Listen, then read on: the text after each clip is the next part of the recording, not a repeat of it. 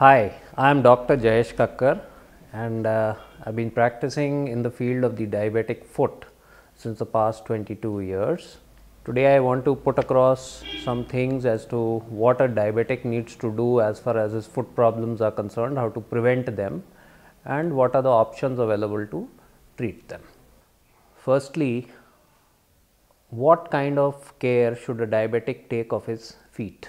The point to remember is that 40 percent of all hospital admissions in diabetics are because of foot problems and diabetics lose sensation in their foot. So, whenever they get injured, they are unable to feel it and by the time they realize the injury has taken place, the injury has become very big. Every diabetic must check his feet every day in the evening and see that there's no injury, there's no redness, there's no maceration in between the toes. This has to be incorporated into your daily life. I'll count out some points which you should generally be taking care of being a diabetic. To begin with, you start, no diabetic should wear a any slipper or any footwear which has a toe divider, the regular Hawaii chappal which we wear is not to be worn or something similar to that should not be worn. Two, every diabetic must wear a pair of socks before wearing any other footwear. Three, whenever you uh, a diabetic wears a shoe, he should check inside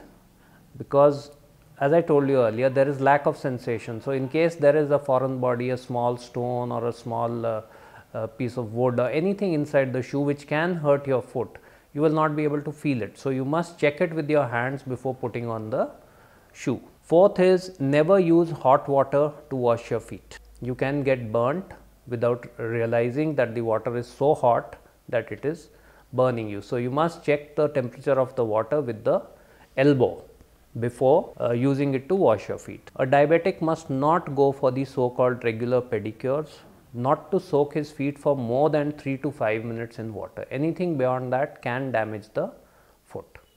All diabetics must clean in between the web spaces with alcohol. This is the web space. The space between the toes is known as the web space. So, you need to, you can use a eau de cologne, you can use an aftershave lotion, anything which is readily available in the house to keep these spaces dry. Do not put any ointment or any gel or any cream in between the toes. The moment you start putting that, the toes, the web spaces get moist and over time they will crack, they will macerate. Like when you keep your hand soaked in water for long, the hand becomes, the skin becomes white. So, once it is white, the skin cracks and the infection enters through those cracks. As far as cutting toenails is concerned, a diabetic must cut his toenails square. Do not go into the corners of the nails. One thing which I forgot to mention, but I, is the one of the most important things right in the beginning is that sugar control is of paramount importance to prevent any complication of diabetes. So, do not go by uh, you know random sugar levels or uh, accepting sugar levels which are beyond normal. The normal values which are suggested are a 2 hours post meal value of 140 milligram percent of uh, blood sugar level and a fasting 8 hour fasting sugar level of 110 milligram percent. The way to check the sugar levels is I have seen that many patients they use a, a glucometer in the house now, they do not know really how to use that glucometer.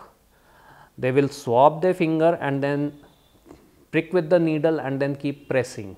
You are not supposed to press when you check your blood sugar levels using a glucometer. Let your hand dangle like this for around 30 seconds. In the same position swab the finger and then prick and you must get free flow of blood. That will give you a fairly accurate measure of your blood sugar levels. Now, coming back to the foot, check your uh, uh, footwear before putting it on, wear socks, do not use hot water to wash, wipe in between the web spaces, do not put creams or oils or uh, gels in the web spaces. You must not apply oil on the foot anywhere. You must use a moisture based or a water based cream and that also like I said earlier not to be applied in between the web spaces.